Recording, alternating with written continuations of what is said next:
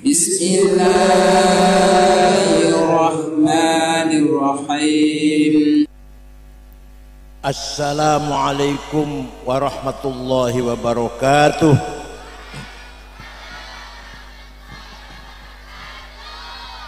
بسم الله. الحمد لله. الصلاة والسلام على سيدنا ومولانا habibina Muhammad Rasulillah wa ala alihi wa sahbihi ومن تبع سنته وجماعته من يومنا هذا إلى يوم البعث والنهضة.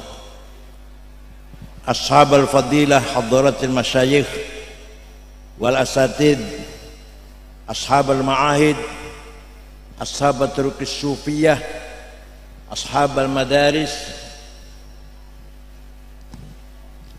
Para tokoh masyarakat para pejabat pemerintah yang saya hormati sadati wa sayyidati anisati ashabi wa zumalai abnai wa banati ayyul khudur alhamdulillah saya bisa sowan mudah-mudahan pertemuan kita ini ala barakatillah. Mendapat barokah dan ridho Allah. Sehingga pertemuan kita ini tidak hanya sekedar pertemuan fisik tidak hanya pertemuan jasmani tapi juga silaturruh pertemuan ruhani pertemuan spiritual contohnya misalkan kalau saya mati panjenengan dongakaken Baca Al-Fatihah artinya silaturruh namanya. Namanya silah ruhaniyah. Kalau panjenengan mireng kula mati, bu kapan-kapan bu kapan masih.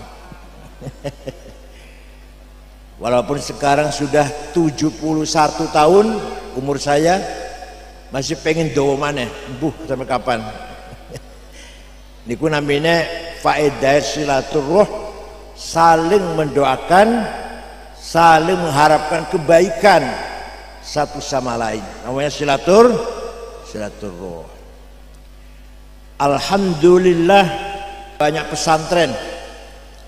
Merupakan kebanggaan kita warga Nahdlatul Ulama ala madhabi ahli sunnati wal jamaah pesantren merupakan al-hisnul hasin benteng yang kokoh untuk membentengi ta'alim din al-islami ajaran Islam yang harus kita kembangkan harus kita perdalami harus kita dorong supaya lebih maju lagi.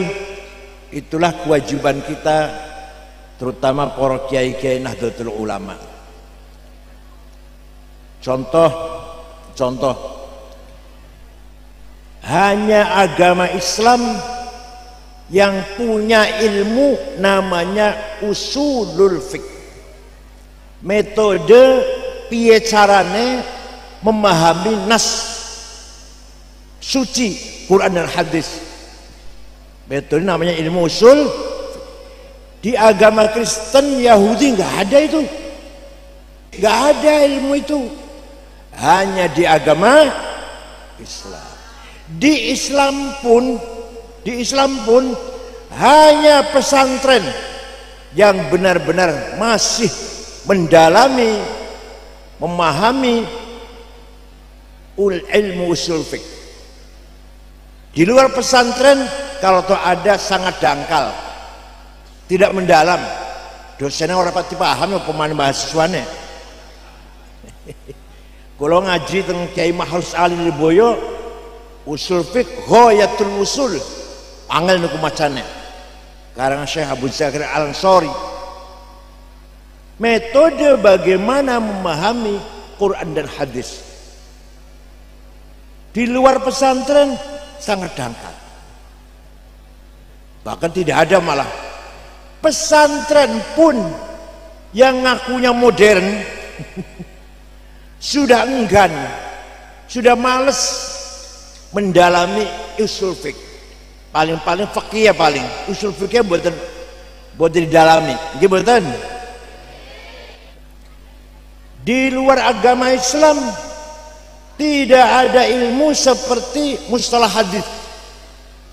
Menseleksi berita, menseleksi informasi. Hanya di Islam ada metode menseleksi sabda-sabda Rasulullah.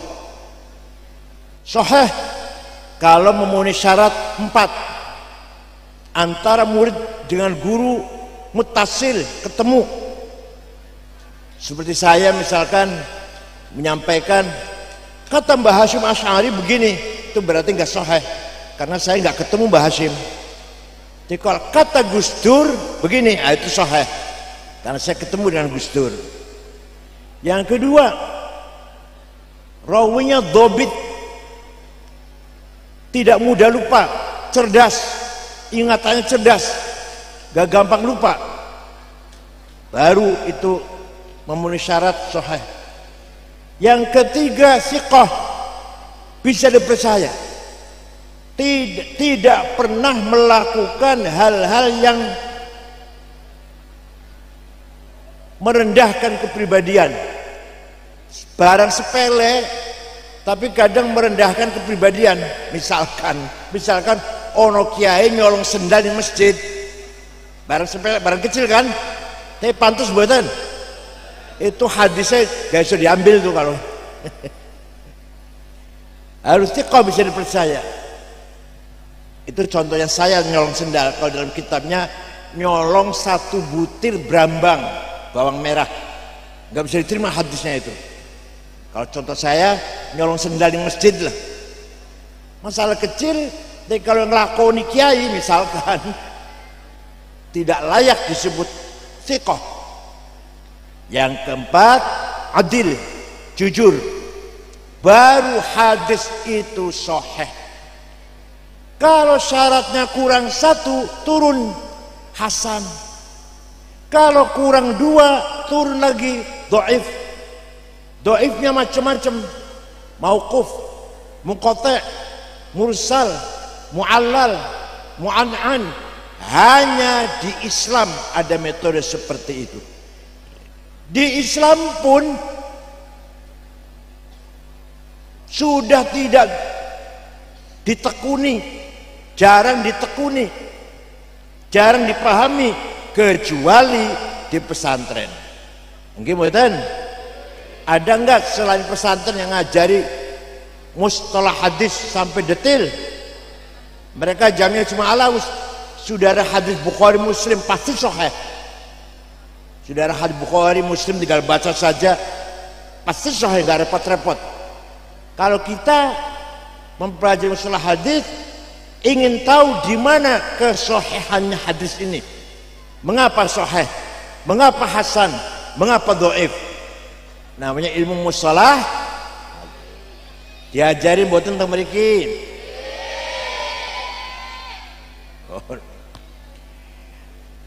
di agama Kristen dan Yahudi tidak ada ilmu tajwidil qiraah tajwidul tilawah. Betul hanten mau Taurat mau Injil kudu idghamnya bener ikhfa bener iklabe bener kol-kolahnya benar mad lazim mad jaiz. Betul wonten ilmu itu. Hanya di Islam. Ada ilmu tajwid di qiraatil Quran. Di Islam pun ada beberapa pesantren yang katanya modern sudah tidak lagi diajarkan Quran secara face to face secara wajah di wajhin cukup di madrasah gurunya baca muridnya ngikut. Itu gak efektif itu. Gak efektif. Quran harus diajarkan satu-satu. Satu maju baca satu maju. Harus begitu. Gak bisa kalau hanya kumpul gurunya baca itu kan gak efektif gak efektif. Paham boten di sini ngaji Qurannya wajahan di wajahin berhadapan satu-satu. Alhamdulillah. Berarti masih betul-betul mempertahankan ta'lim din Islam. Apalagi kiroat sab'ah boten wonten Kristen Kristen Yahudi nggak ada kiroat. Baca Injil ada tujuh kiroat. Atau gak usah tujuh deh ada tiga kiroat. Baca Taurat ada tiga kiroat. Betul wonten hanya di Islam. Di Islam pun sudah jarang pesan mengajarkan kiroat sab'ah gimana di sini pun nggak diajari kan? Enggak kan? Bapak sekalian, itulah pesantren Al-Hisnul Hasin Ta'alim Islami ala tariqat ahli wal jamaah. Suatu ketika Imam Syafi'i siapa? Siapa itu? Man, man ini dodol yang alun-alun.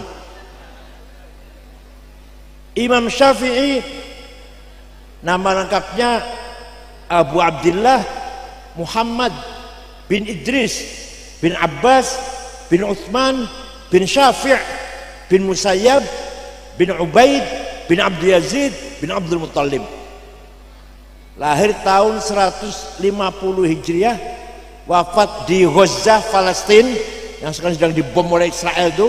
Itu lahirnya Syafi'i di situ. Kemudian wafat di Mesir Kairo dusun Fustot tahun 204 jadi usianya hanya 54 tua saya tua saya. Imam Syafi'i usianya hanya berapa? 50 Imam Syafi'i 54 Ghazali 55 Imam Nawawi 45 Kiai Hashim bapaknya Gus Dur 39 meninggal umur 39 Wahid Hashim bapaknya Gus Dur. Yang penting urip iki barokah jane. Ora perlu doa-doa kalau kadung 71 barokah ono ora iki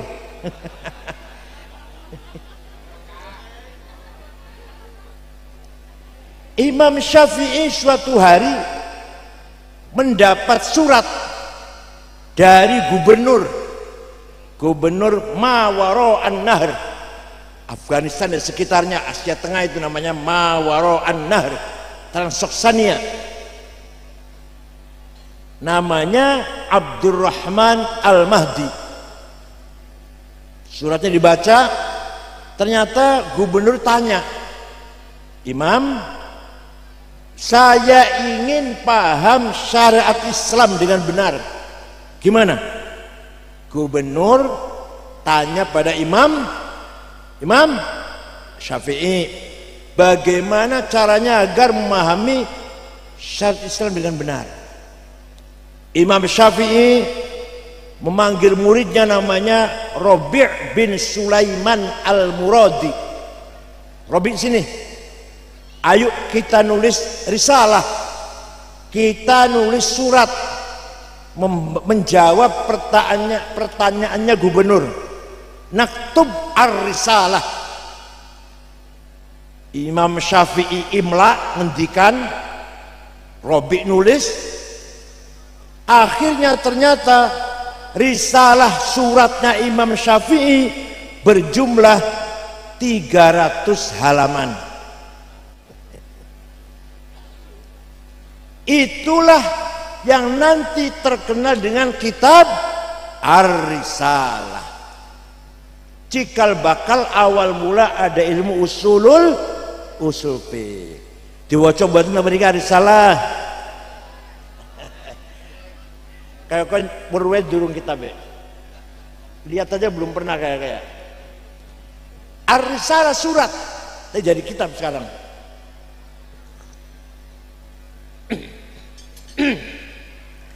isinya gimana isinya ringkas nih saringkas nih kalau rinci dua tahun, empat meter kalau kalau rinci.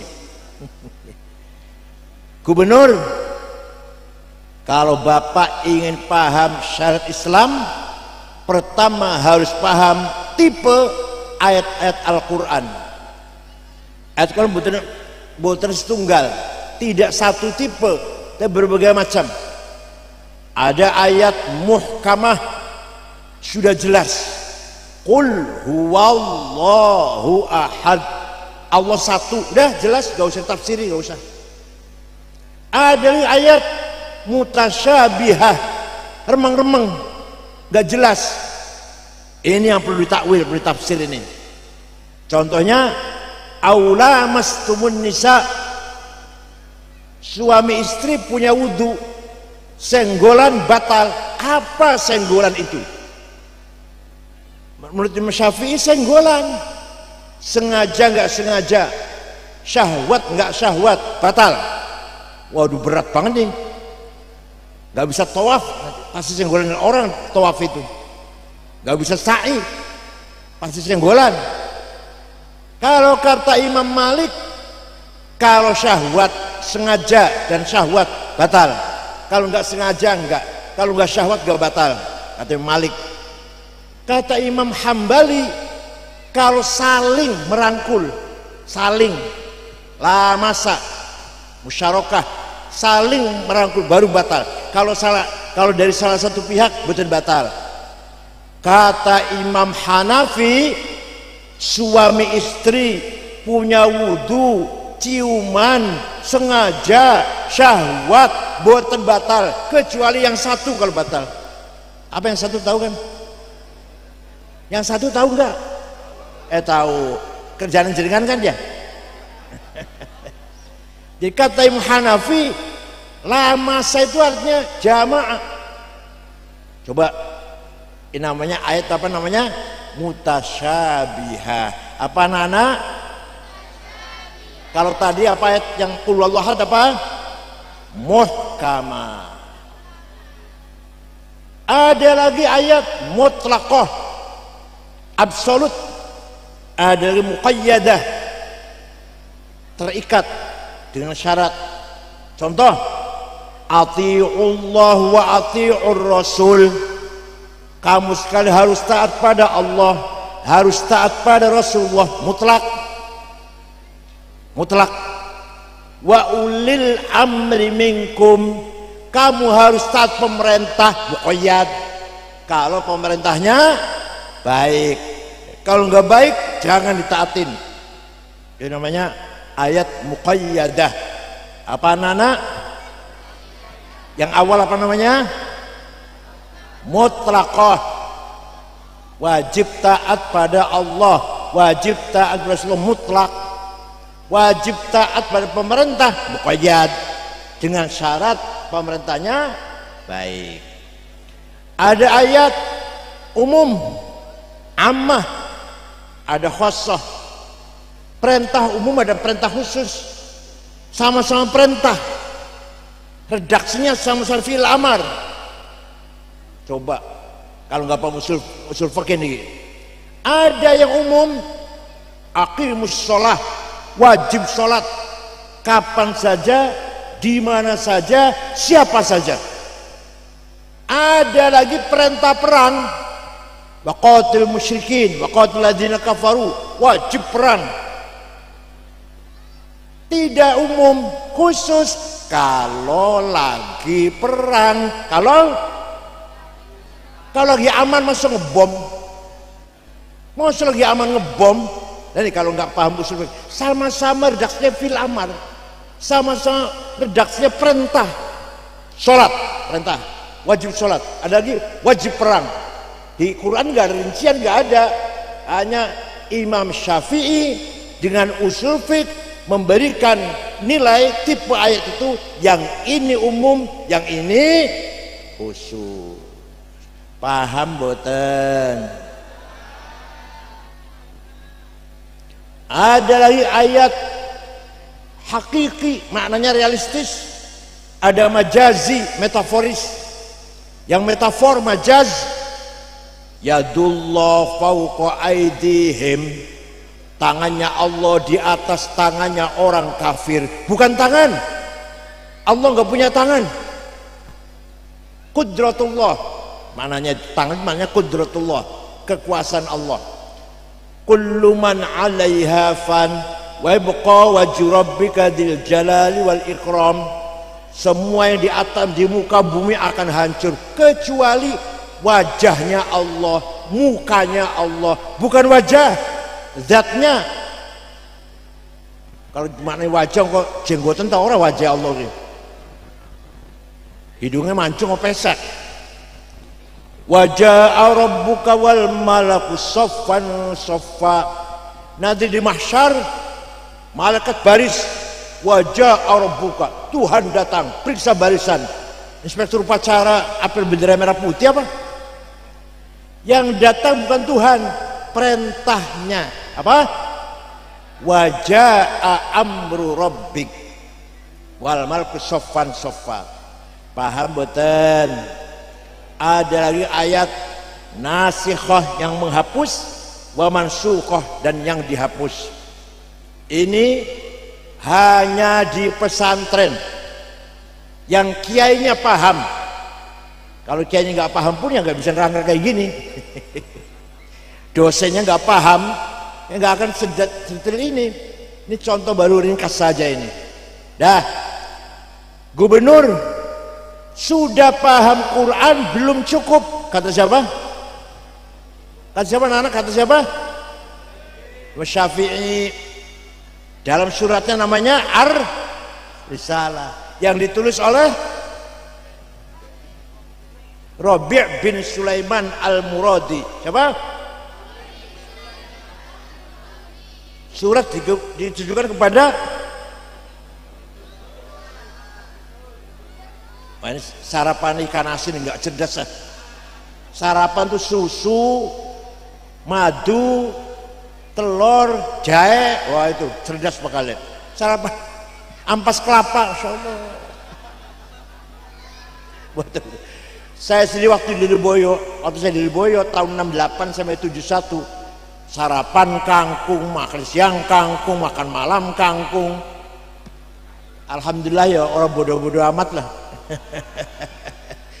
ono tempe itu sudah bagus, sudah meningkat. Ada tempenya itu. Kangkung, makanan dasarnya itu. Bon. Tidak cukup hanya Quran, gubernur.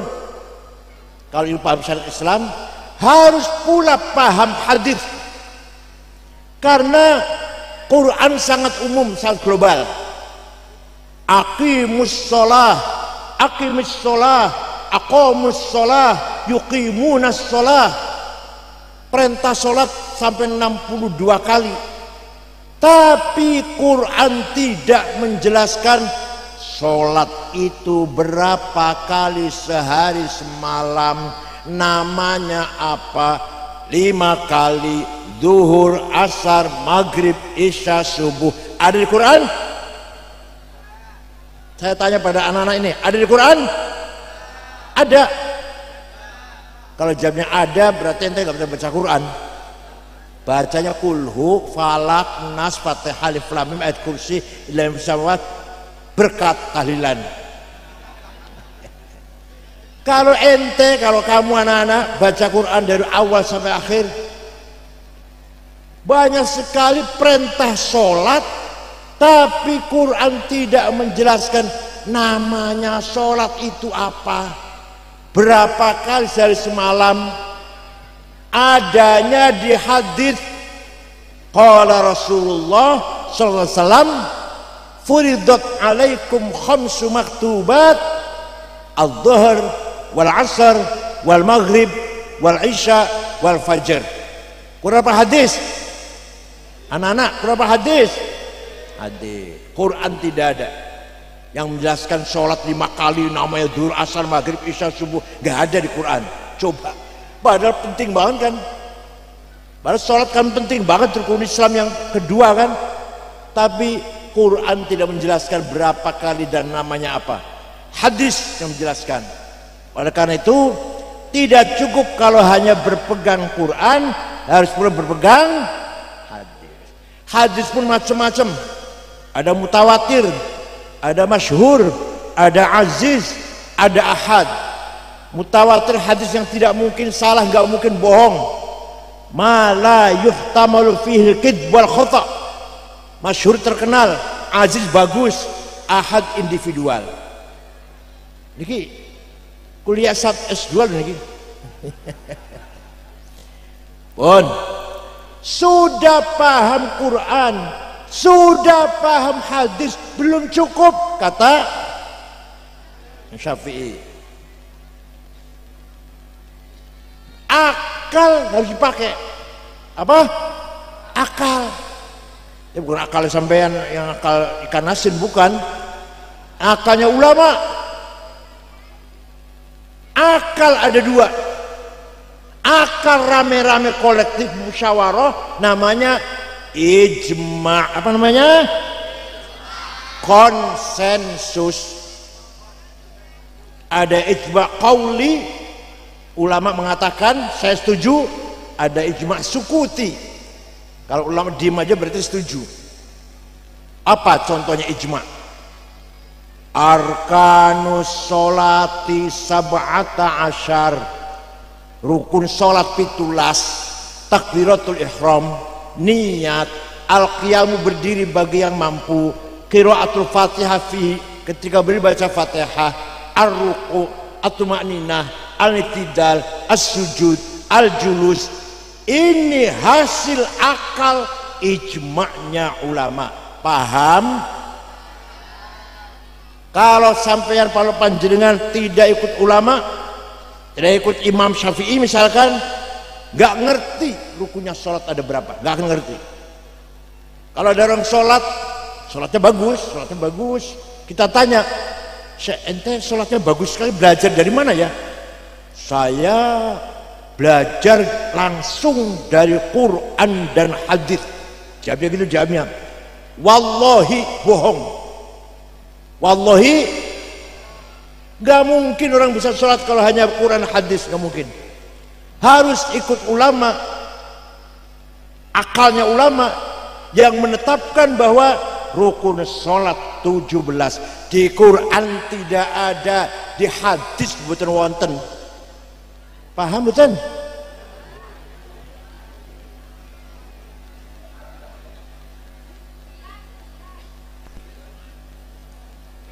Yang benar jawabnya ente bisa sholat bagus sekali dari mana? Dari ayah saya. Dari ibu saya. Ayah dari mana? Dari gurunya. Dari kayaknya, dari gurunya, dari kayaknya mentok tenggonang Imam Syafi'i. Imam Syafi'i punya guru namanya Imam Malik Imam Malik punya guru namanya Imam Robi'ah Robi'ah punya guru Imam Kharijah Imam Kharijah putra sahabat Zaid bin Thabit sahabat Zaid pun Rasulullah sahabat. Paham betul jangan sampai ada orang mengatakan saya bisa sholat ini belajar langsung dari Quran dan hadis. Wallahi.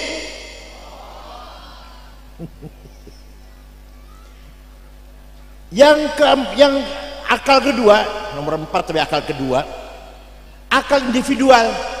Buatan mawi kumpul-kumpul buatan sendiri-sendiri. Syahsiyah namanya. Namanya apa namanya? Kias. Apa namanya?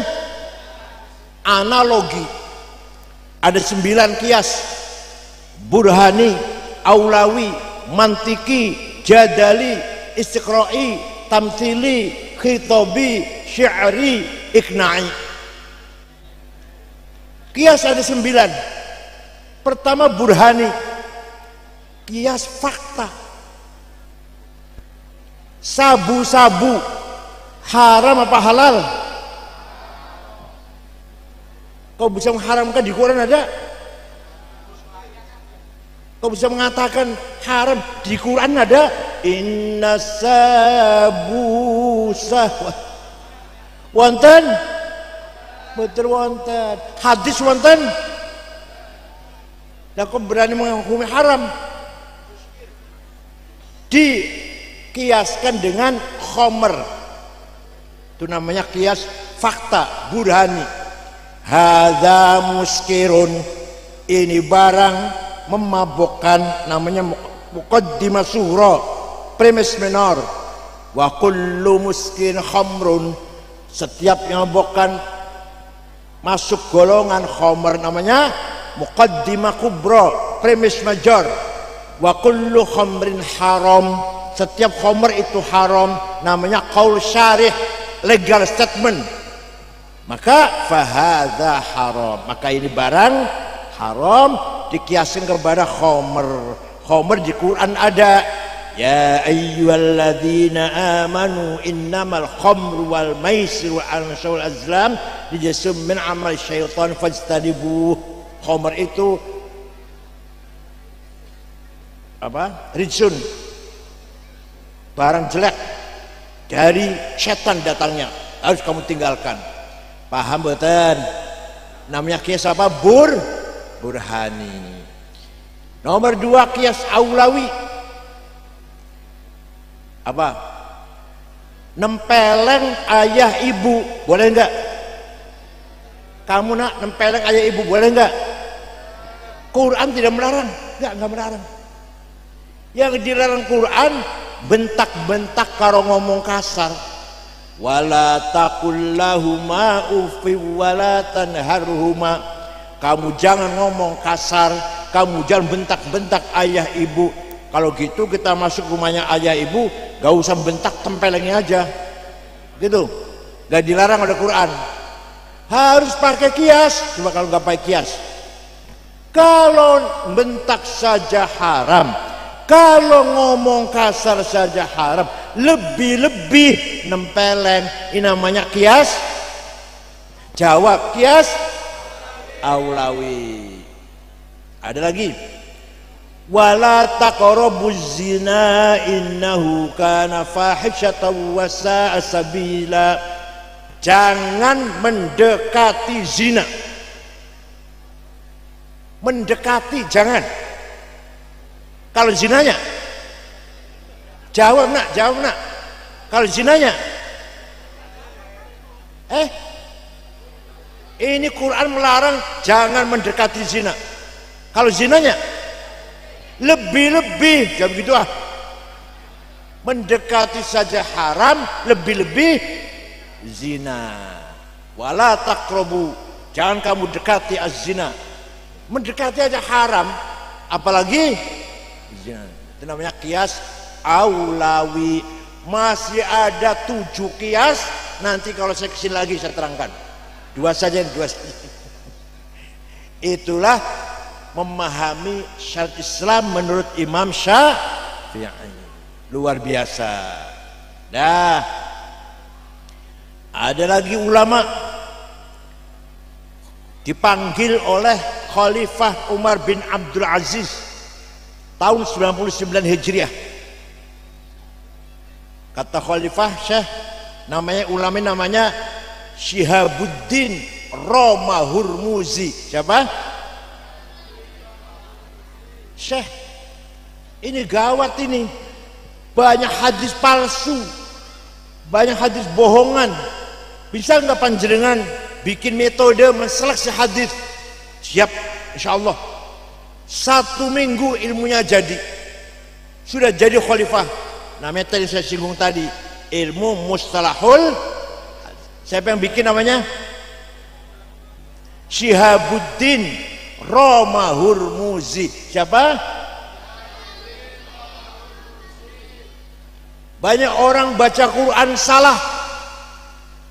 Karena tulisan Arab waktu itu belum ada titiknya ba tak tak podo jim ha ko orang bedane ba tak tak nan nun yun podo nun ya podo orang bedane orang titiknya maka yang pertama kali bikin titik namanya Imam Abdul Aswad Ad-Du'ali. Siapa? Tahun 62 Hijriah. Sudah ada titik masih kangelan baca Quran. Maka Imam Khalil bin Ahmad Al-Farahidi bikin harokat.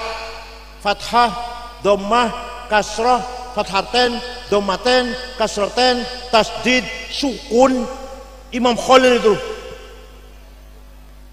Zaman kaji Nabi betul nonton zaman Rasulullah betul nonton harokat betul nonton tapi sahabat baca Quran benar karena kan dihafal. Hafal mengandalkan hafalan maka benar tapi kalau yang tidak hafal tulisannya harus sempurna maka Imam Khalil membuat harokat paham betul paham betul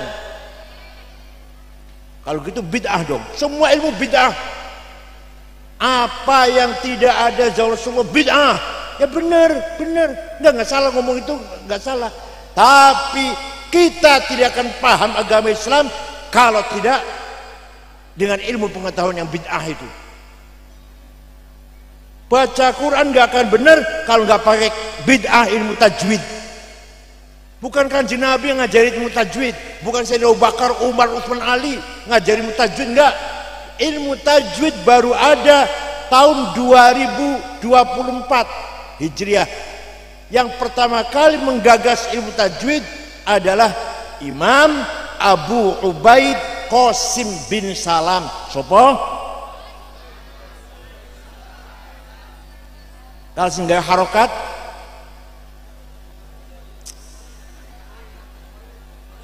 Khalil kalau gawe titik?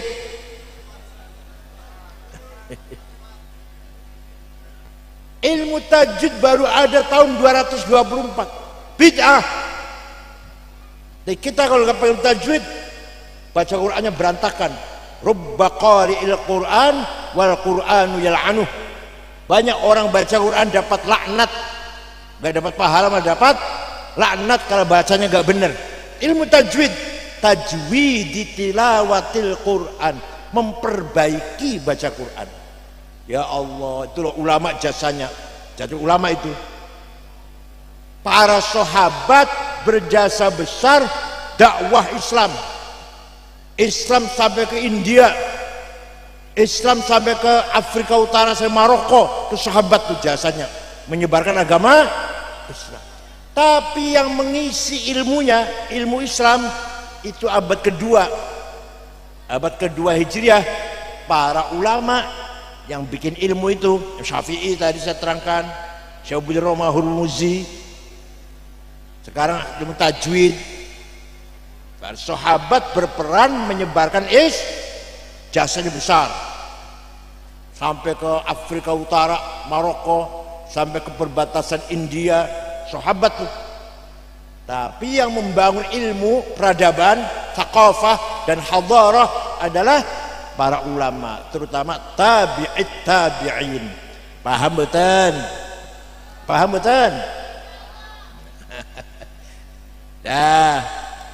Ada lagi orang baca Quran Annallaha bari'um minal musyrikin wa rasulih Allah tidak melindungi orang musyrik dan tidak melindungi Rasulullah. Salah. Yang benar bacanya wa annallahu jangan wa rasulih wa rasulullah. Allah tidak melindungi orang musyrik dan Rasulullah pun tidak melindungi orang musyrik kalau baca wa rasulullah. Dan kalau, baca wa rasulih Allah tidak melindungi orang musyrik dan tidak melindungi Rasulullah. Kalau baca wa Rasulullah, Allah tidak melindungi orang musyrik, Rasulullah pun juga tidak melindungi orang musyrik. Lahirlah ilmu nahu, grammar. Pertama kali menggagas ilmu nahu Imam Amr bin Kumbur. Siapa? Yang terkenal dengan panggilan Imam Sibaweh. Imam Ya, lahirlah ilmu nahu, mubtada khobar, fa'il maf'ul itu. Ismu kana, khobaru kana, ismu inna, khobaru inna dan seterusnya.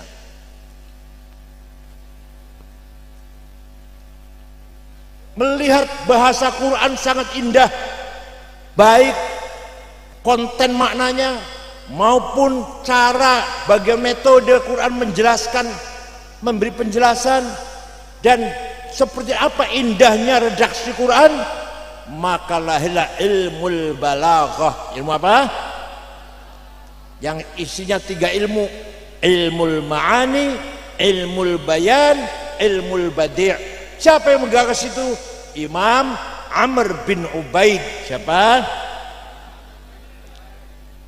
jangan lupa ini. Jangan lupa. Nanti bubar jadi lupa semua. Yang orang balaghah siapa? Amr bin Ubaid. Siapa? Ya ilmu nahu. Bawe. Ilmu tajwid.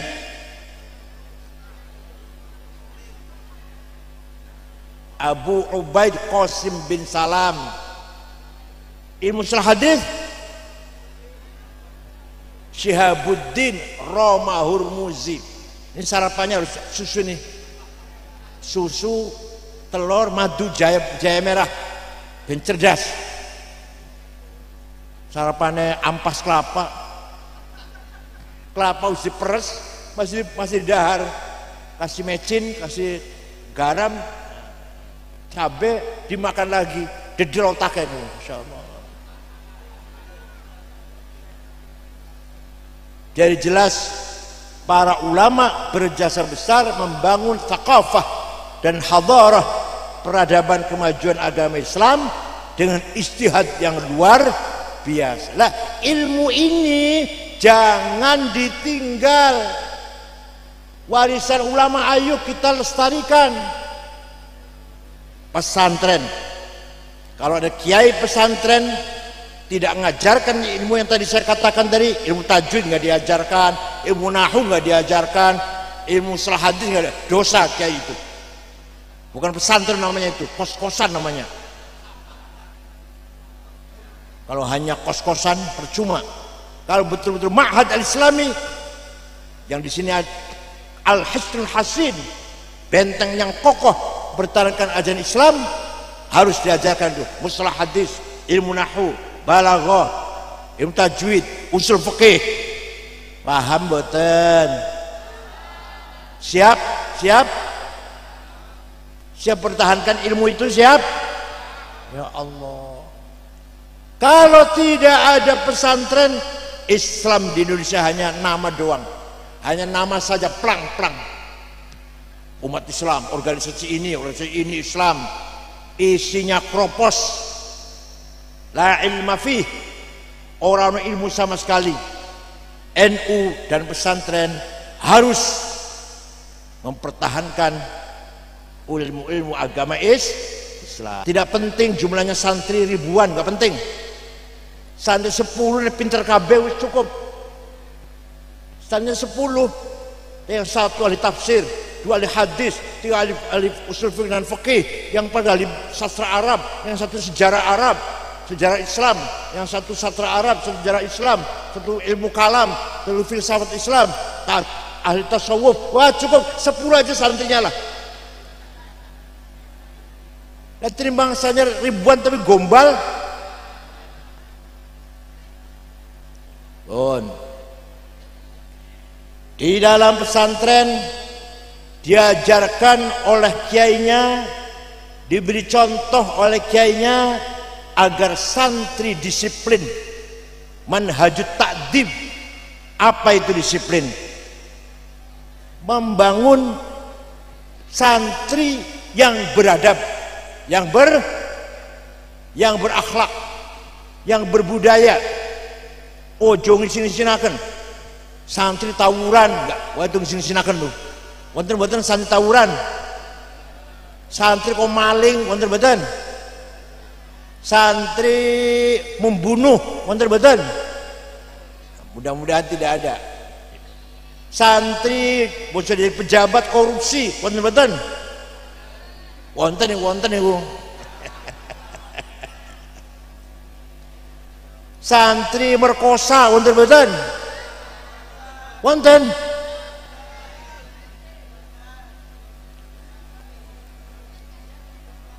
Rasulullah niku dialem oleh Quran dipuji oleh Quran bukan ganteng gagahnya bukan. Ada nggak ayat Quran? Memuji Nabi Muhammad Muhammad kamu ganteng kamu tampan wonten boten boten wonten. Nabi Muhammad cerdas sukses berhasil. Wonten boten di alam niku kamu cerdas Muhammad kamu sukses Muhammad. Betul. Tapi Quran memuji Nabi Muhammad akhlaknya yang mulia. Wa innaka ala khuluqin pendidikan sekarang krisis akhlak. Karakter tidak terbangun dari awal. Insya Allah pesantren sejak dini masuk pesantren yang dibangun pertama adalah ah akhlak kejujuran, tidak boleh bohong, disiplin, nggak boleh males, tanggung jawab dengan tugasnya masing-masing. Ngoten nggih? Santri gitu kan? Jujur, amanah, nggak pernah bohong, nggak pernah ngapusi. Tahu ngapusi santri? Tahu ngapusi? Pernah? Wah, bukan santri, non bukan santri itu. Kalau pesan, kalau santri jujur. Wa innamal umamul akhlaqu ma baqiyat fa inhum dhahabat akhlaquhum zahabu. Martabatnya wong tergantung akhlaknya, bukan agamanya. Tergantung akhlaknya, bukan agamanya. Paham betul, paham betul? Orang mau datang ke sini nggak tanya agamanya apa ya? Nggak bertanya itu baik-baik apa tidak. Nah, contoh negara Afghanistan, mireng nama negara itu, dengar anak-anak, 100% muslim. Satu orang saja nggak ada non muslim. Muslim semuanya. Terdiri dari tujuh suku. Sukunya hanya tujuh. Indonesia kan lebih dari 400 Indonesia ini sukunya. Jawa, Madura, Sunda, Batak, Dayak, Melayu, Bugis, Ambon dari 400 lebih Indonesia. Afghanistan hanya tujuh sukunya. Perang saudara adalah Sunnah Jamaah 97 persen madhab Hanafi Tarekatnya Naksabandiyah akidahnya Maturidiyah Al-Sunnah Jamaah itu perang saudara paten-patenan bom-boman sudah 40 tahun. Bom ledak di jalan di pasar di masjid di rumah sakit di madrasah. Lagi sholat Jumat bom ledak Jumat itu ngatus lagi maulid Nabi bom ledak yang mati banyak. Presidennya namanya Burhanuddin Robbani hafal Quran keluaran Al-Azhar Mesir. Tamatan Al-Azhar Mesir. Dibunuh antek Amerika ini kafir. Ada perempuan nyanyi dibunuh. Kenapa? Perempuan nyanyi haram. Oh jadi nyanyi haram membunuh nggak haram. Ayo negara seperti itu Islam 100% ahli sunnah jamaah panjenengan pengen mereka ingin ngajak anak cucu ke sana liburan karena akhlaknya bangkrut Suriah bom-boman terus Libya ribut terus Yaman dan seterusnya dan seterusnya Alhamdulillah Indonesia aman dan tentram ini kalau di Timur Tengah di negara Arab, buatan gampang ada pertemuan ini. Harus izin. Izinnya nggak gampang. Bangun pesantren, bangun madrasah, bangun masjid, buatan gampang negara Arab. Di Saudi panjenengan mau bangun pesantren sampai mencret gak akan jadi. Di kita walaupun bukan negara Islam, negara Pancasila, bebas solawatan istiwotah rong pulewu selawewu kumpul orang mau haul akhir sana bebas. Bangun pesantren bangun madrasah musola masjid bebas. Padahal kita bukan negara Islam negara panca. Ala amnin wa aman insya Allah seterusnya. Afghanistan memalukan. Negara Islam memalukan. Namanya negara Islam syarat Islam katanya tapi akhlaknya morat marit oleh karena itu pesantren nomor satu adalah membentuk karakter akhlakul karimah paham betul manusia itu termasuk saya semua manusia itu punya hawa nafsu punya apa?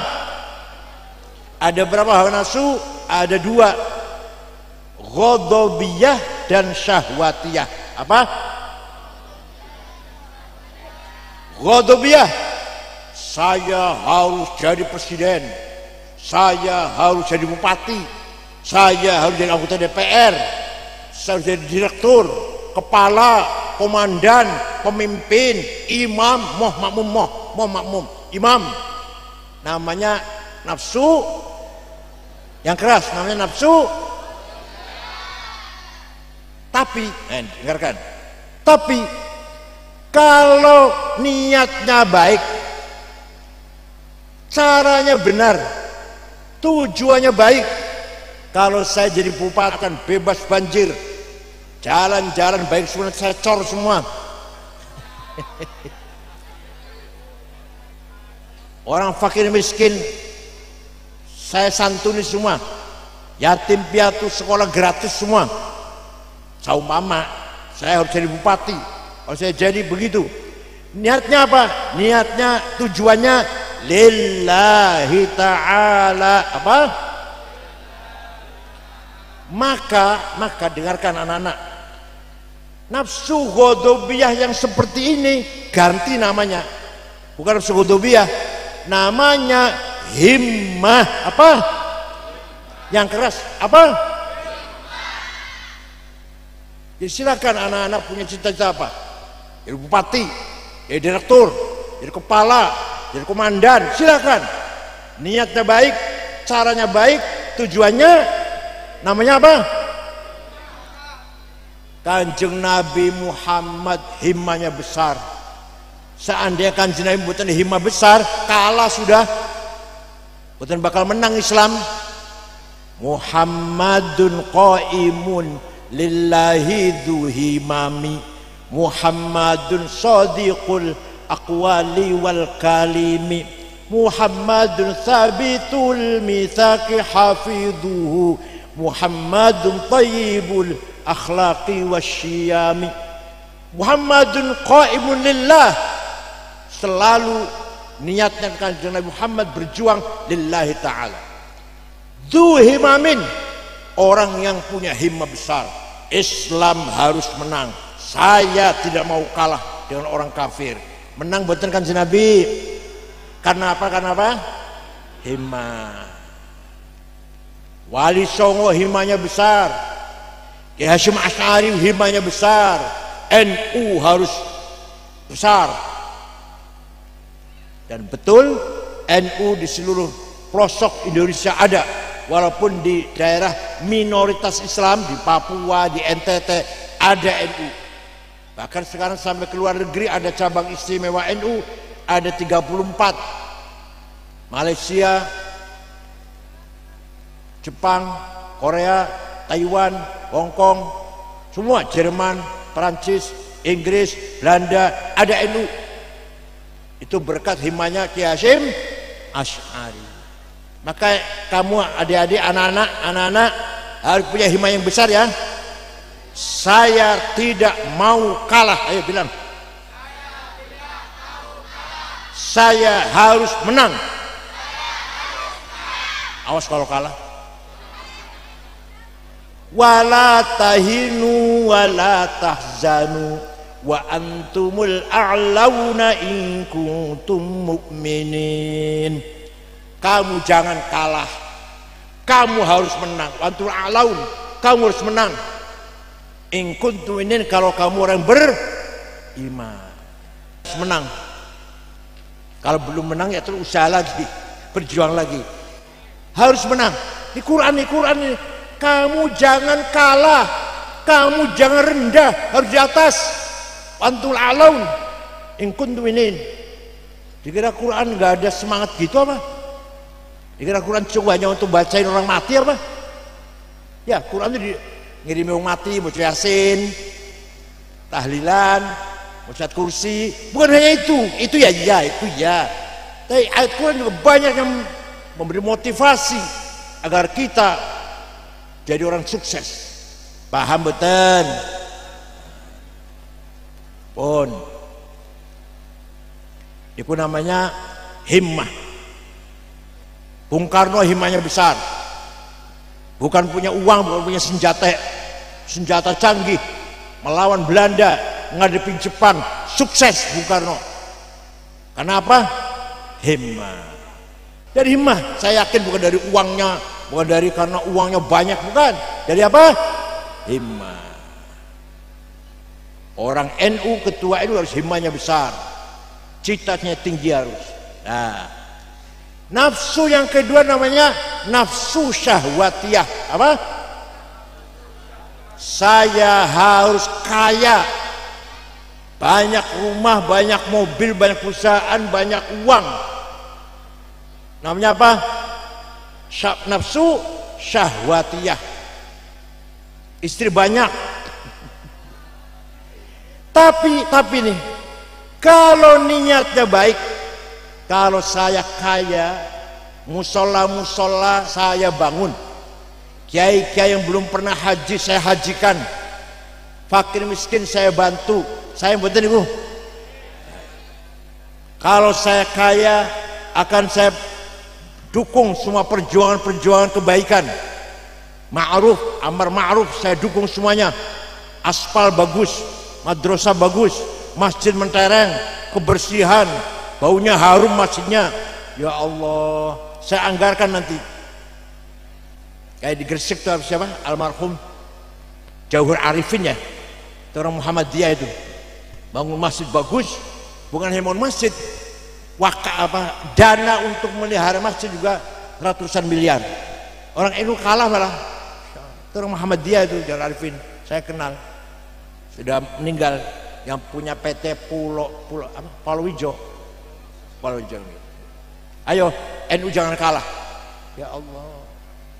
Kalau niatnya baik tujuannya baik namanya bukan nafsu syahwatiyah saya harus kaya. Kalau sudah niatnya baik ganti namanya azimah. Apa? Kalau yang tadi apa? Dan sekarang على قدر أهل العزم تأتي العزائم وتأتي على قدر الكرام المكاريب فتكبور في عين الصغير صغارها وتصغر في عين العظيم العظائم. عظائم مكارم kemuliaan derajat tinggi diraih dengan azimah paham boten? Sahabat Utsman. Sahabat siapa? Utsman bin Affan. So, salah satu sahabat yang sudah dikasih tahu pasti masuk surga. Ada sepuluh. Dikasih tahu udah dikasih tahu. Pak kamu masuk surga. Abu Bakar Umar Uthman Ali Sa'ad Sa'id Tolha Zubair Abdul bin Auf Amir bin Jarrah. Wah kalau kalau saya dikasih tahu masuk surga puasa leren puasa leren. Zakat leren pas masuk surga aja kok. Sayyidina Uthman sahabat minal mubasysyirin bil jannah. Salah satu yang sudah dikasih tahu pasti masuk surga pernah sedekah. Pernah sedekah. Gandum diangkut pitung atus gerobak. Pitung atus cikar. Gerobak apa cikar? Nggak mana apa ngatakan? Gerobak apa cikar? Glodok glodok itu glodok juga sahabat Utsman kenapa? Karena kaya. Musuh arti sedekah semua kene. Kenapa? Karena kaya. Panjenengan pernah sedekah pitung atau semua jawab. Sahabat Utsman sedekah gandum diangkut pitung atus gerobak. Panjenengan pernah sedekah pitung atus apa?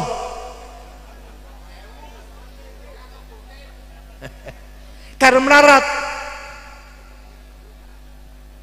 Syekh Abdul Qadir Al-Jailani orang Baghdad Sultan Aulia berangkat ziarah ke Imam kuburannya Imam Syafi'i di Mesir.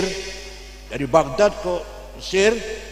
Sampai di sana melihat masyarakat sekitar kuburan Imam Syafi'i melarat-melarat. Orang di rumah. Syabul Qadir Jalani beli tanah 10 hektar diwakafkan kepada penduduk sekitar kuburan Imam Syafi'i dusun Pustot sampai sekarang Pak. Sampai saiki rusun ono tulisannya Auqaf Syekh Abdul Qadir Al Jilani ya Syekh Abdul Qadir Jilani itu wali sugi loman. Panjenengan wali duduk. Ya derek. Sugi mboten. Loman tak pelit. Itu Syekh Abdul Qadir Jilani Syekh Abil Hasan Asyadili. Terkenal Syadiliyah itu yang punya hijab Nasor hijab Bahar. Pengikutnya 6000 waktu itu. Pengikutnya 6000 dijamin kebutuhan makan minum pakaian pengikutnya itu dijamin oleh Syekh Abil Hasan Asyadili di sini ada kiai jamin muridnya. Jawab, wonten kiai jamin santrinya. Dereng. Said Muhammad bin Alwi Al-Maliki di Mekah baru wafat tahun 2006. Putra-putri Mbah Mun semua di sana semua. Waktu saya di sana santrinya pitungatus dijamin makan, minum, obat-obatan, pakaian, kitab, pulang kasih tiket Kenapa? Karena kaya. Karena kaya. Punya percar kitab di Mesir, punya hotel di Maroko, percar kitab juga di Maroko. Paham betul? Jadi kaya dan miskin baik mana? Baik kaya. Ada dua orang sama-sama rajin sholat di masjid, rajin baca sholawat, rajin mau Quran, yang satu kaya yang satu melarat yang kaya haji tiap tahun umrah tiap bulan ziarah Baghdad Abdul Qadir Jelani ziarah Maroko Syekh Tijani ziarah Mesir Imam Syafi'i ziarah Aljazair Syekh Abu Madan Al-Ghawth ziarah Suria eh, datang Ibnu Arabi ziarah Turki datang Abu Al-Ansari sing melarat ziarah ndi sing melarat ziarah ndi Wali Songo juga pakai uang juga Wali Songo. ya Allah. Bangun masjid pakai duit. Bangun pesantren pakai duit. Madrasah pakai duit. Biayain ngongkosi anak pesantren pakai duit. Lu mau haji ngelakoni rukun Islam pakai sholat pakaiannya harus bersih harus suci berarti panjenengan atau kita harus punya baju pitu sarung pitu kaos pitu dalam pitu. Ke WC ke comberan ke pasar ke sawah sholat itu pakai sarung itu. Maka Islam mendorong kita harus berpakaian banyak. Paham betul? Syekh Abil Hasan Asyadili itu pakaiannya keren. Jasnya dari Waldor Mill England. Tulah juta semeter baju dalamnya Pirkardin Christian Dior. Pitung juta wulung juta. Sepatunya Hermes selawe juta. Kacamatanya Cartier petang puluh lima juta. Minyak wanginya Jomalon Bonain limang juta. Jadi kan minyak wangi misik kalah tasnya itu Gucci 75 juta. Jadi kan kiasnya itu ada tulisan pojok musyawarah ulama kabupaten sandalnya lili aduh ya Allah. Sarungnya sebagai duduk. Kelambinnya kokoro ulan durung ganti. Sorbannya wis orang tahu dikumbah. Ya Allah. Rokoknya jarum coklat. Musola yep-yep limang watt tikare soek jadinya kosong. Ciduknya bolong. Alah sembung ambune pete atau terasi atau petis ambune musola ngoten betul betul betul tiru Abdul Hasan Syadili. Rumahnya villa. Kendaraannya kereta ditarik dua kuda. Palpat Mercy BMW bukan Luxio. Grand Mark bukan, bukan. pembantunya 16 ini wali lu. Salah satu wali kutub. Wali kutub kan empat Syabdul Jilani, Abil Hasadili, Hasan Rifai, Said Ahmad Badawi. Ini salah satu wali kutub. Pakainya mentereng. Tiap hari ganti. Ada yang tanya Syekh panjenengan waliullah bahkan kutbun aqtabil arba'ah panjenengan wali dan salah satu wali kutub kok mentereng? Keren penampilannya. Terus gimana kiai-kiai yang lain kok kemproh kumuh. Jawabnya Syabil Hasadili libasi yakul pakaianku sih bagus ini bisa ngomong. Pakaianku bisa ngomong. Ngomong piye? Ayuhan nas ana goni fala tarhamuni. Wahai masyarakat pakaiannya ngomong ngomong pakaiannya. Wahai masyarakat saya kiai kaya nggak usah kamu amplopin. Itu artinya tapi kalau kiai pakaian nyemprul itu pakaian ngomongnya ayuhanas ana fakir farhamuni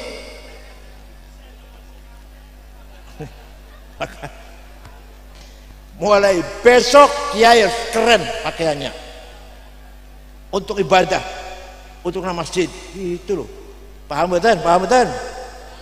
Terutama kiai pengurus NU, Suriah harus keren. Ketemu bupati gagah, ketemu kapolres gagah, ketemu dandim gagah. Dan pakaiannya kumuh, minder, gitu betul? Pakai sepatu, itu. Jangan pakai sandal lili. Minyak wanginya Jomalon atau Bonain yang 5 juta itu sebotol. Oh, misik, masya Allah bikin orang batuk nih batuk orang sebelah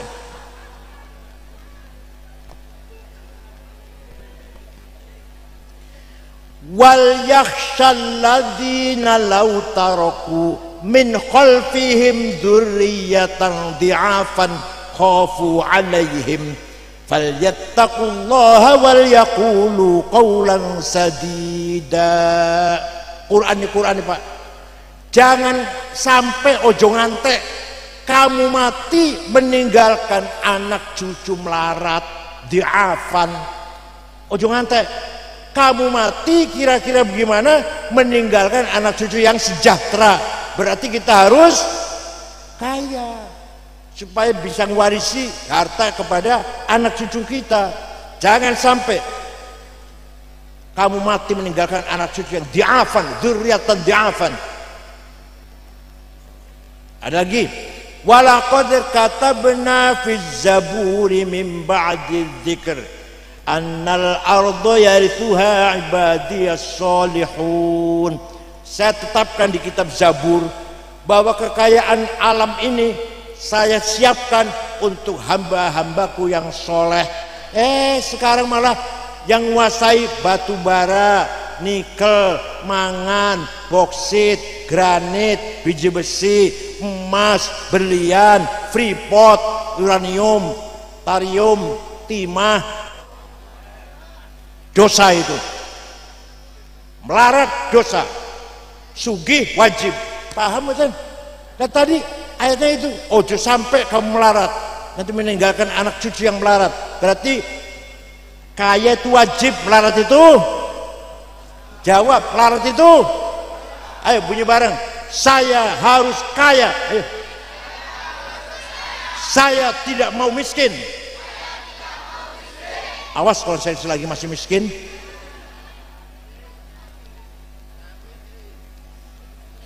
Semuanya pakai uang. Asal cari hartanya yang torikotil halal.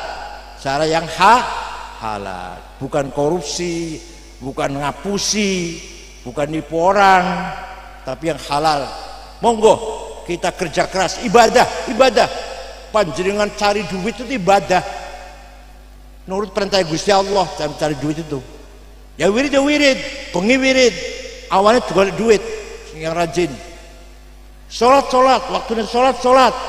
Tapi di luar sholat ayo golek duit sing, sing akeh. Supaya kita kaya. Orang kaya di Indonesia 50 orang, saya cari yang namanya Jumadi, Solikin nggak ada itu. Madrais nggak ada. Namanya ya Prayogo Pangestu. Duitnya 1100 triliun.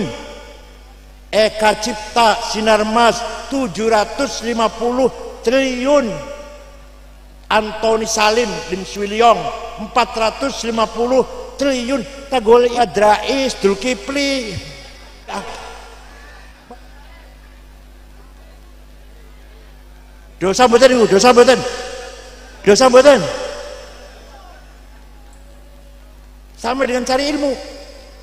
Tolabul ilmi faridotun. Pinter itu wajib. Jadi kalau bodoh, dosa. Pinter, wajib. Kaya, wajib. Melarat, dosa. Kalah, dosa. Menang, paham boten.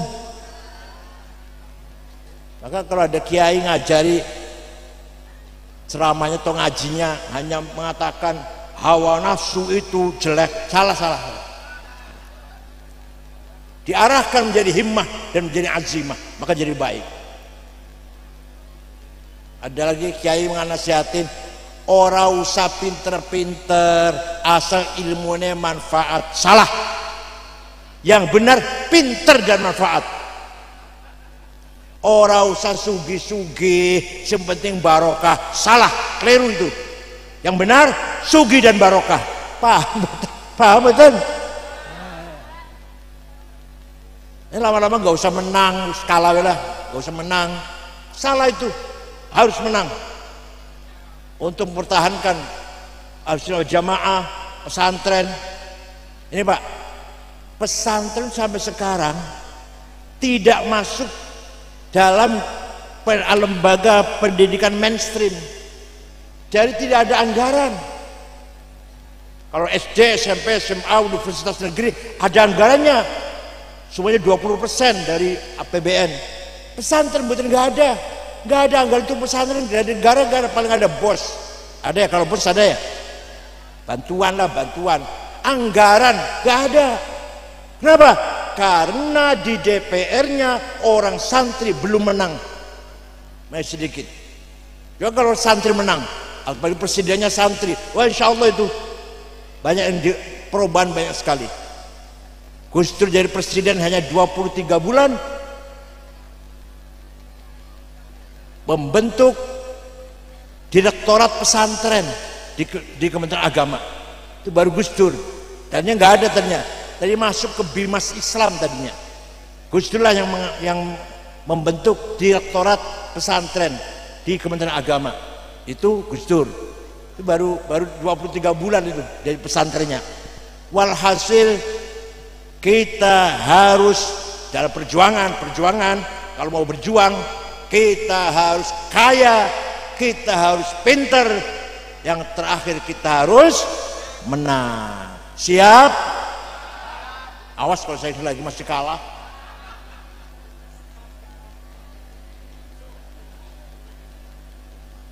Yaitu pesantren membangun akhlakul karimah.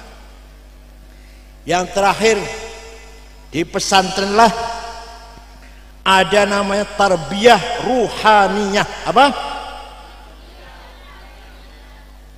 Mendidik spiritual agar santri rohnya sehat. Rohnya bukan hanya akalnya bukan. Rohnya sehat. Bukan hanya akhlak. Tapi hatinya juga baik. Bersih dari muhlikat. Bersih dari ora takabur hasud hiqad adawah bagdo sum'ah ujub riya. Namanya tarbiyah ruhaniyah namanya. Paham betul yang ada apa yang ada? Taubat warok zuhud sabar tawakal ridho syukur mahabbah muanasah ma'rifat. Urutannya begitu urutan. Namanya munjiat yang pertama namanya apa? Muhlikat. Apa namanya? Hasud takabur dengki permusuhan benci, saling membenci suudon tukaran gimana tukaran benci saling membenci Ayo kita berubah. Ruhani kita berubah. Diganti dengan munjiat. Apa namanya? Yang menyelamatkan. Kalau tadi yang menghancurkan. Yang menyelamatkan apa? Taubat. Warok, hati-hati. Apik, selektif. Zuhud, asketis. Sabar. Tawakal. Ridho. Syukur. Mahabbah. Muanasah. Puncaknya adalah ma'rifat Paham betul? Ini di luar pesantren nggak ada yang jadi begini. Hanya pesantren. Nggak ada pesantren. Diajarin nggak kira-kira di SD, SMP, SMA? Diajarin nggak itu? Mahabbah, ridho, syukur, tawakal. Betul betul Hanya di pesantren. Ya Allah, hatinya akan jernih, akan padang hatinya. Contohnya Gus Dur, contohnya.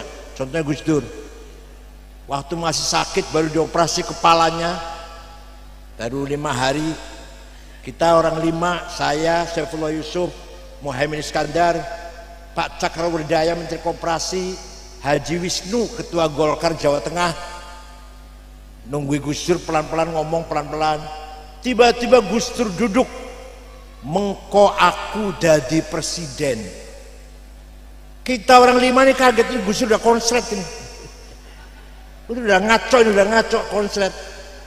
Bukti presiden buatan siapa yang ngandani? Yang ngasih tahu siapa? Bukan manusia. Namanya nurun mubashir yakdifullah ala qalbi man yasha. Direct illumination from Allah. Langsung nur dari Allah dengan hati yang bersih. Pernah juga habis olahraga pagi-pagi mampir ke Geriokulo mampir ke rumah saya.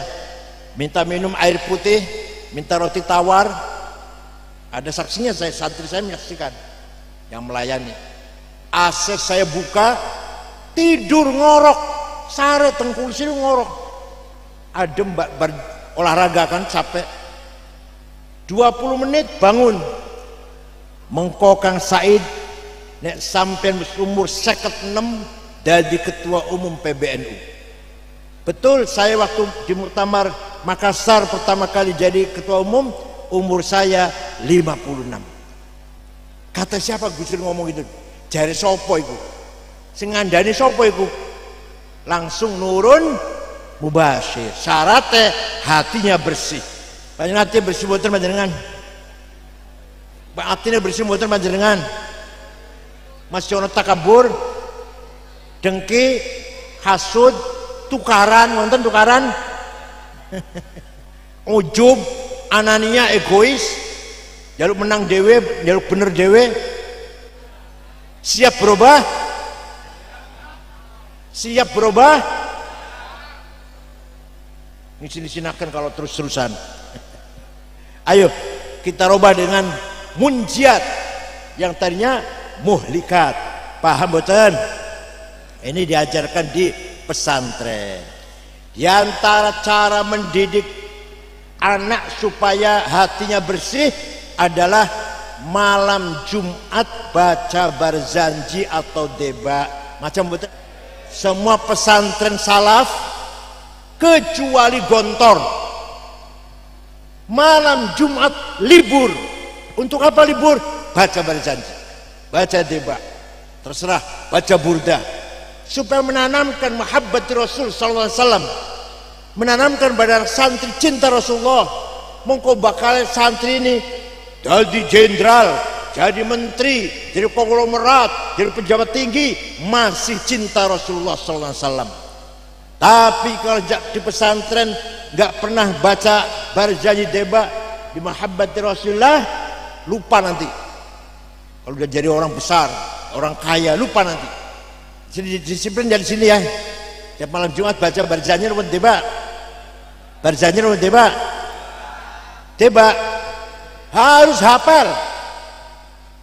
Surya NU harus hafal berjanji. Kalau nggak hafal jangan diamplopin. Pulang suruh naik ojek gak usah diantar. Surya itu harus hafal berjanji. Mana ke Qadir Jelani khutbah nikah khutbah gerhana mimbar teng masjid ojo diwai buku khutbah. Kalau ada kiai khutbah masih baca ojo dinggo maneh. Apa bedanya kiai kalau SAG kalau SAG pantas khutbah moco pantas nah kiai keluaran boyo keluaran tebuiran keluaran sarang. Moco moco kalau SAG moco khutbah buang. Buku khutbah buang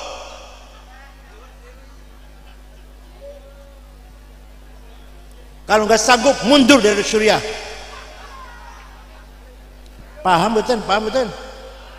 Kenapa? Kenapa saya kok ekstrim banget? Karena berjanji deba simtuduror burdah milik kita. Milik siapa? Maka kita harus menghafalnya menjaga merawat melestarikan. Kalau bukan kita yang hafal apa Muhammadiyah yang suruh ngapal apa HTI yang suruh ngapal kita yang harus hafal siap wa amma taifatu thaqifan falam yuhsinu bil ijabati kirah واغروا بالسفهاء والعبيد فسبوا بألسنة بدية ورموه بالحجارة حتى خدبت بالدماء نعلاه. ثم عاد رسول الله صلى الله عليه وسلم إلى مكة حزينا فسأله ملك الجبال في إهلاكها لهذه العصبية. فقال إني أرجو أن يخرج الله من أصلابهم من يتولى. عطر اللهم قبره الكريم. Apal-apalan jangan baca. Panjenengan kalau ngundang kiai coba tapi ojo disediani bukunya.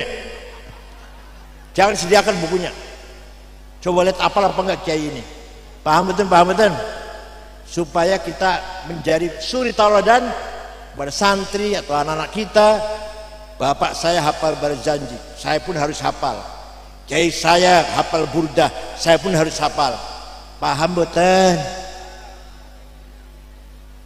Suatu ketika ada syekh ulama dari Iskandaria namanya Syekh Abu Sa'id Muhammad Al-Busiri. Muridnya Syekh Abu Abbas Al-Mursi. Al-Mursi muridnya Syekh Abdul Hasan Syadili. Syadili muridnya Syekh Abdul Salam bin Masis. Abdul Salam bin muridnya Syekh Abu Madjan Al-Ghawth. Sakit satu bulan setruk. Gak bisa bangun dari tidur dari tempat tidur Syekh Al-Busiri. Suatu malam mimpi jumpa Rasulullah sallallahu alaihi wasallam. Panjenengan sering mimpi jumpa Rasulullah? Jawab panjenengan sering mimpi jumpa Rasulullah? Cuma genderuwo? Syekh Muhammad matur ya Rasulullah saya sakit sudah satu bulan. Saya ingin membuat qasidah yang isinya muji-muji nyanjung-nyanjung. Panjenengan minta izin. Ya silakan silakan bikin. Seminggu mimpi lagi. Sudah ketemu lagi seminggu. Sudah selesai Rasulullah saya bikin. Coba dibaca katanya. Sami'ani coba baca. Dibaca. Dibaca. Fatabassama sallallahu alaihi wasallam. Rasul tersenyum wa masaha jasadahu. Musab musab musab badannya fata'affa fauran. Syekh Muhammad besoknya bisa lari. Satu bulan lumpuh. Mimpi diusap-usap karo kanjeng pun di syairan itu apal betul panjenengan amin tadakuri jironim bidhi salami. Mazata dam anjaro mimuklatim bidami am habbatir rihu min tilqa'i kadhimatin wa awmadhal barqu fi dhalma'i min idami fama li 'ainayka in qul takfu fahamata wa ma li qalbika in qul tastafik ya himi ayahsabu sabbu annal hubba munkatimu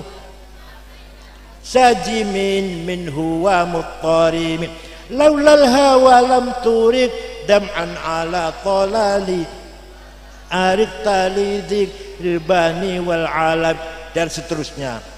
amin tadakuri jiran bidi salami kenapa ini artinya? Artinya nak artinya ini. Kenapa engkau selalu menangis? Tiada henti-hentinya. Sampai air matamu bercampur darah.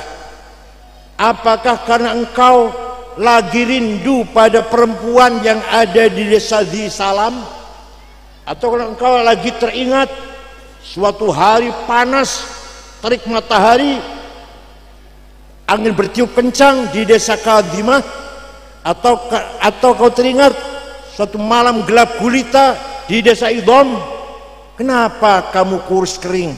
Kenapa kamu gak enak makan gak enak tidur nangis terus? Pasti kamu lagi mabok cinta. Dan cinta gak bisa disembunyikan. Eh sabu sebuah hubba mungkatimu gak bisa disembunyikan. Kalau kamu lagi rindu pasti kelihatan sekali. Jawab saja gak usah gak usah menghindar. Jawabnya na'am saro taifuman fa'arraqani wal hubbu ya'taridul ladzati bil alami ya laimi fil hawal udri ma'diratan minni ilaika walau ansafta lam talumi. Na'am memang benar. Saya lagi mabuk cinta lagi kangen lagi rindu pada seseorang sampai rasa rinduku menjadi penyakit. Tapi kalau kalian tahu siapa yang sedang kutangisi kurindukan pasti kalian akan memahami memaklumi lah. Siapa sih yang kamu rindukan? Siapa? Sampai nangis bercampur darah. Yang sedang kurindukan kutangisi adalah Muhammadun Sayyidul niwattaqalai ni wal fariqaini min urbin wa min ajami amirun. Nahi fala ahadu abarra fi qawli la minhu wa la na'ami. Huwal habibul ladzi turja syafa'atuhu li kulli haulin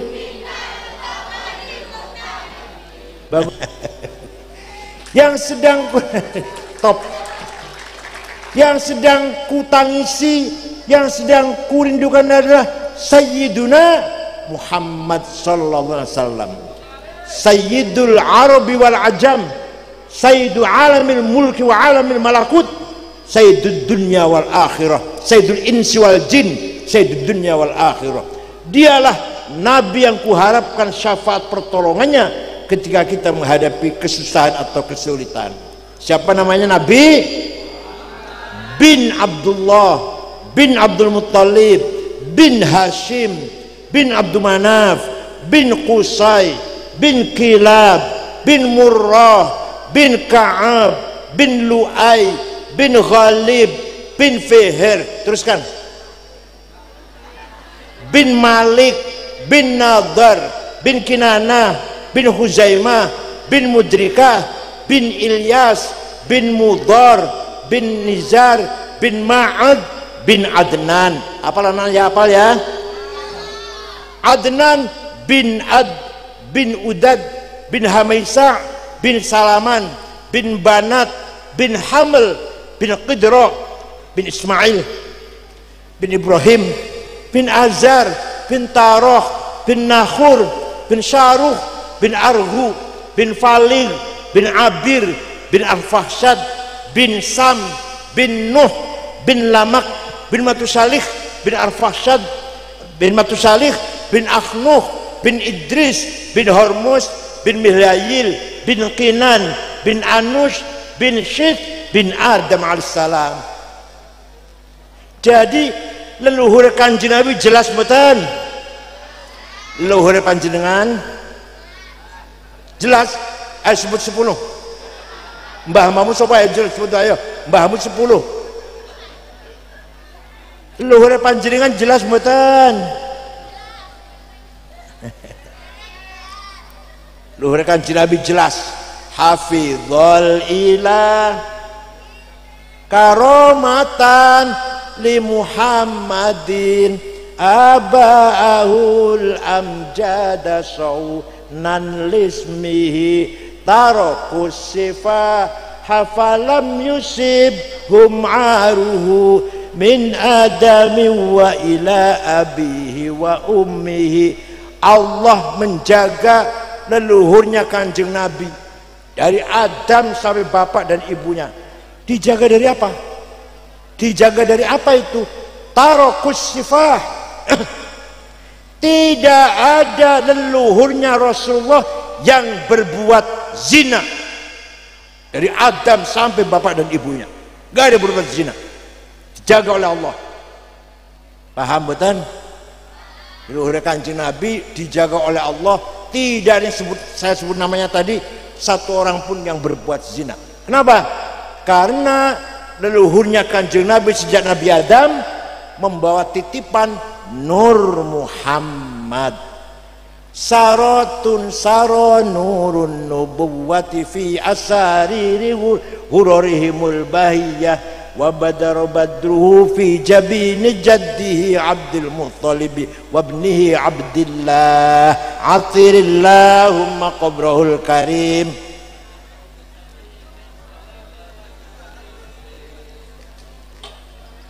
paham betul lalu panjenengan orang gubernur wis mbuh orang jelas lah. Kalau kanjeng Nabi ada amanah gowo Nur Muhammad begitu Nabi Muhammad lahir seperti bulan purnama. Fawulida sallallahu alaihi wasallam sajidan syakiran hamidan ka'annahul badru fi tamamih bagaikan bulan purnama Omaya Siti Aminah Padang. Abu Lahab kaget. Aminah Omaya ono apa itu ke Padang. Abu Lahab perintah budaknya namanya Suwaibah. Siapa namanya? Coba Suwaibah. Delok anu Aminah ono apa kok ke Padang banget. Suwaibah pergi gak lama datang bos majikan ya ami Siti Aminah melahirkan bayi laki-laki. Dari bayi itulah datangnya cahaya. Dari wajahnya bayi itulah datangnya sinar seperti bulan di rumahnya Siti Aminah. Abu Lahab gembira senang mendengar berita ponakannya lahir lanang. Karena bulan itu ponakannya kanjeng Nabi pamannya kanjeng Nabi Abu Lahab itu. Saudaranya Syekh Abdullah lain ibu tapi lain ibu. Saudara dengan Syekh Abdullah. Senang. Tuwaibah sejak hari ini kamu bukan budak bebas. Jadi Tuwaibah dimerdekakan dari perbudakan kamu bebas. Seperti saya sudah kamu sudah selevel dengan saya. Bukan budak lagi. Itu Abu Lahab menghormati lahirnya kanjeng Nabi sepisan. Mati kafir. Tapi nanti di akhirat masuk neraka jahim. Setiap hari Senin dintas. Hari Senin dintas di neraka. Selasa masuk lagi. Jebloskan lagi. Rebo, Kemis, Jumat, Sabtu, Ahad, Senin Selasa masuk lagi. Sampai sampai Ahad. Selasa Senin diangkat lagi. Selamanya selamanya itu. Seperti itu selamanya. Senin diangkat. Selasa jebloskan lagi ke neraka. Ya Allah. Idza kana idza kana hadza kafiran jaa dammuhu bitabbat yadahu fil jahimi mukhallada ata annahu fi yaumil itsnain daiman yukhaffafu anhu lis-sururi bi ahmada فما الظن بالعبد الذي كان عمره لأحمد مسرورا ومات موحدا إذا كان هذا كافرا جاء بتبت يد أبي لهب وتب kalau Abu Jahal Abu Lahab kafir masuk neraka jahim selamanya tapi ata annahu fil mithnani daiman yukhaffafu anhu. Setiap hari Senin selamanya dintas saking adab saking neraka itu kenapa? Karena lis sururi bi ahmada gembira menyambut kelahirannya Nabi Muhammad. Famadzannu bin abdilladzi kana umruhu. Maka seperti apa yang selalu baca berjanji atau deba tiap malam Jumat tiap akekah omai dadi anak lulus naik pangkat mau coba berjanji betul betul deba betul apalagi orang selalu baca berjanji deba yakin pasti dapat syafaat Rasulullah SAW percaya tidak? Yang percaya pasti mendapat syafaat. Min alfat yang tidak percaya pasti dapat. Ayo terserah panjenengan. Percaya silakan gak, gak silakan yang percaya pasti min ahli syafaat Rasulullah. Yang tidak percaya mahrumun anha. Yang gak percaya gak dapat syafaat Rasulullah. Ngoten nggih? Maka di pesantren dipertahankan baca maulid malam Jumat.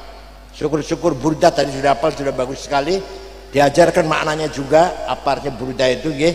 Diajarkan enggak anak-anak apa cuma hafal aja apa diajarkan? Maknanya diajarkan situ. Itu namanya kita meningkatkan ruhaninya anak-anak. Supaya punya ruhani yang bersih. Sampai jadi pejabat tinggi orang kaya jenderal misalkan tetap mahabbati Rasulullah sallallahu alaihi wasallam. Wonten nggih? Cekap semanten mawon mugi-mugi wonten manfaatipun. Apa yang saya sampaikan nyuwun pangapunten kalau ada hal-hal yang tidak berkenan. Bismillahirrahmanirrahim. Alhamdulillahi Alamin حمدا كثيرا طيبا مباركا فيه. اللهم صل على سيدنا محمد وعلى الصحابة أجمعين.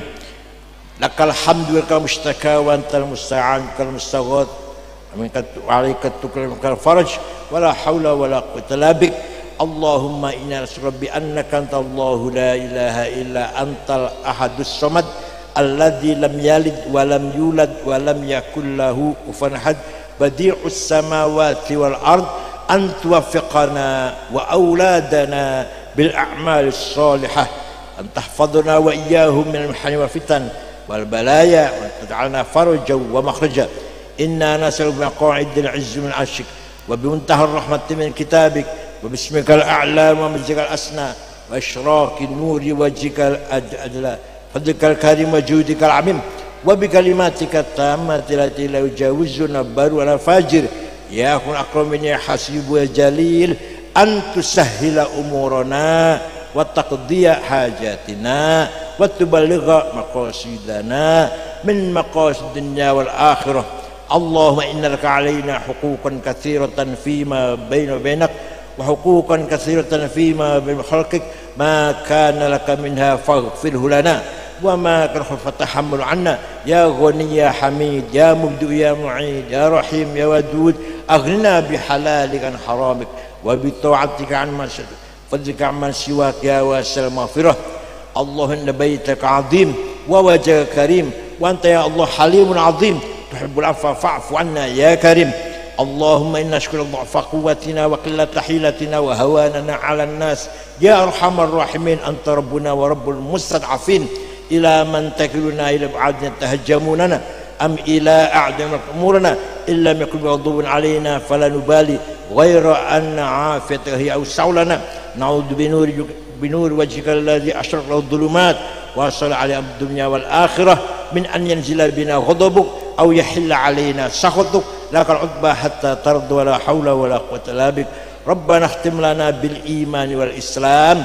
واجعل عند انتهاء أجلنا من هذه الدنيا آخر كلامنا كلمة لا إله إلا الله محمد رسول الله.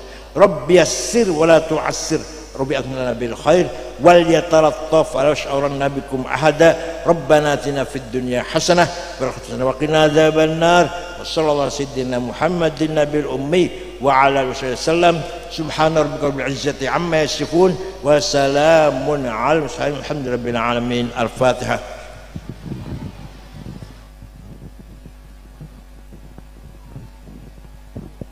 شكرا ودمتم في الخير بركة والنجاح والله الموفق إلى الطريق. والسلام عليكم ورحمة الله وبركاته.